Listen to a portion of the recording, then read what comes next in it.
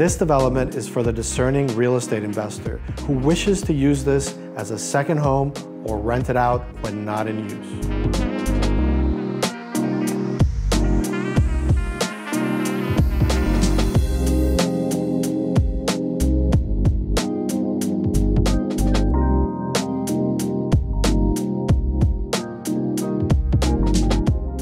This 18-unit development is located in Aldea Zama's most exclusive gated community with 24-7 security and amenities and common areas that are unmatched, like outdoor gym, yoga area, spa, jogging and walking paths, cafeteria and restaurant, as well as a playground for children, all set in the backdrop of Tulum's lush jungles and unique lifestyle.